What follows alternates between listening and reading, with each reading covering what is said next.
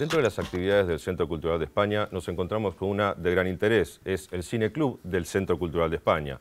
Allí nos podemos encontrar con una eh, práctica de proyección de cine que hace mucho tiempo que quedó olvidada, una cuestión que fue muy importante en nuestro país y que de alguna manera fue la que fomentó y generó esa tal mentada y la cual estamos tan orgullosos, cultura cinematográfica. Los años 40 y 50 y también alguna cosa tardía durante los años 60 fueron el boom de este tipo de exhibiciones que lo que tiene es un lugar donde se encuentra la gente, donde se exhiben películas, en el caso de que nos convoca ahora, películas latinoamericanas y españolas fundamentalmente, de difícil acceso, películas que no han sido estrenadas aquí en Montevideo.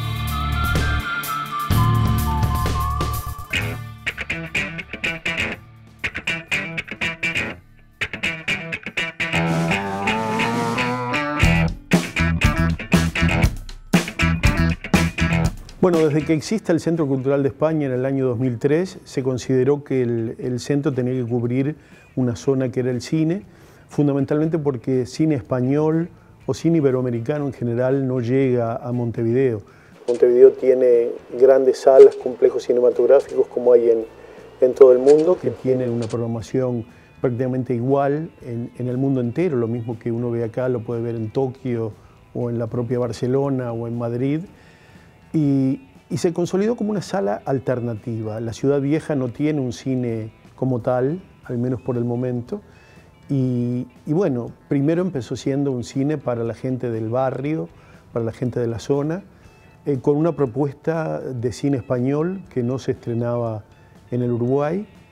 Y luego a lo largo de estos 11 años ha ido cambiando de alguna manera y ha ido consolidándose como una base para aquella persona que le interesa no solamente el cine comercial, que también se da, no superproducciones porque no las hay, pero sí un cine diferente, un cine alternativo que es posible y que se puede ver en otros lugares del mundo. Queridos hermanos, quiero hacer un llamamiento a todos los sectores del país para que evitemos el tener que llegar a una guerra civil y de todos modos logremos en nuestro país una auténtica justicia. En primer lugar, lo armamos en base a una filmoteca que hay en Madrid, la filmoteca de AICID, la Agencia Española de Cooperación Internacional para el Desarrollo, que es una enorme filmoteca que compra eh, fundamentalmente películas independientes españolas en primer lugar y luego iberoamericanas. Compra los derechos de exhibición. Esos derechos son ofrecidos, hay cientos de títulos, que a veces caducan y hay que estar mirándola constantemente, y sobre esa base se van armando ciclos. Los ciclos los propone el programador, eh, se le ocurre el cine español y la recreación histórica. Entonces se buscan títulos nuevos, en, lo posible que no se hayan estrenado en, el Uruguay. Para darte un ejemplo, A la Triste, basado en la novela de, Pérez Reverte y protagonizada por Vigo Mortensen, que habla español como vos y yo pero eh, ese tipo de películas. Luego, eh, el amor y sus diversas facetas. Hemos insistido muchísimo también en, cine eh, basado en la diversidad, diversidad sexual, violencia de género, combate contra las drogas, que hay mucho. Es decir, los ciclos en general suelen ser temáticos. Puede ser Almodóvar por siete y damos siete películas de Almodóvar Amenábar por cuatro y damos toda la filmografía de, Amenábar. Se programa de, esa manera y con una enorme anticipación.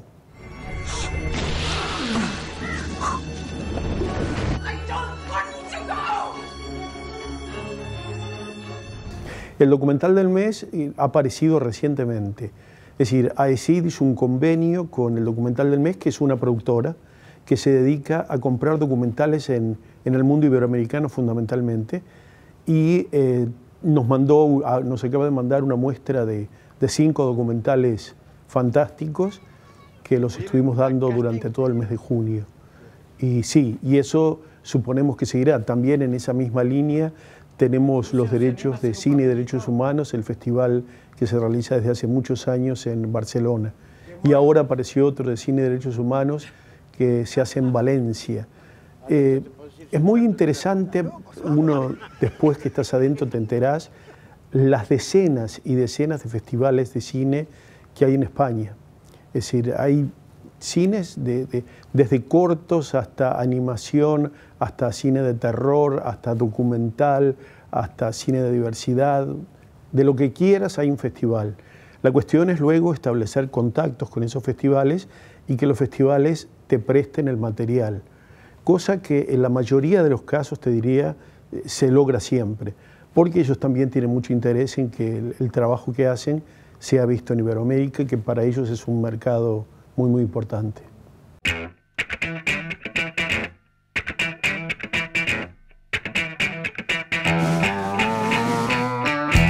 Desde el comienzo pensamos que esto no era una mera exhibición de cine, que si no era venirse a una sala y a las 7 de la tarde todos los lunes dar una película, no. Eh, nos, nos, dijimos, vamos a retrotraernos a lo que fue la tradición cineclubística uruguaya.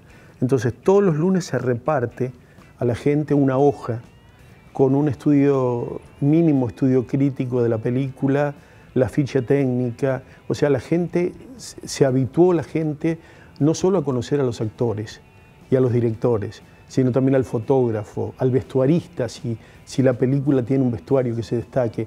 En general, la ficha técnica se basa en lo que más destaca la, la película.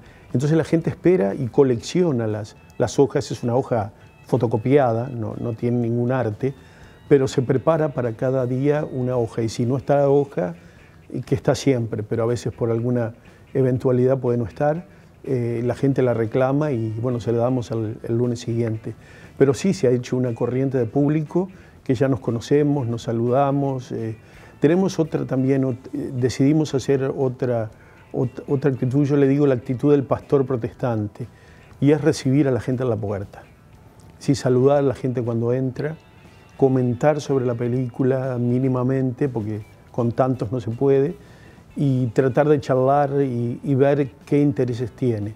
Y cada tanto hacemos encuestas, es decir, tienen que llenar una planilla, con lo cual haces a la gente partícipe de, de, la programación, qué le gustaría ver, eh, qué, qué, quiere hacer, y te encontrás con sorpresas.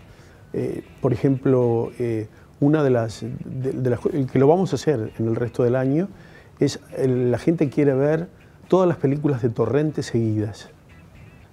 Y pensamos, no, no sé, no sé a quién le, va a interesar. Conocemos a Santiago Segura, ha estado acá en esta misma sala. Y, bueno, y sí, nos dio, nos dio, con la cosa que está filmando la quinta, nos dio los permisos para dar cuatro, así que más adelante, tipo septiembre, octubre, estarán todos los torrentes, un torrente cada lunes.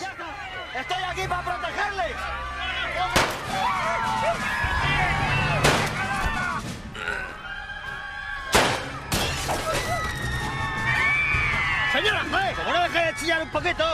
Así de que la puta, que esto es una cosa de precisión.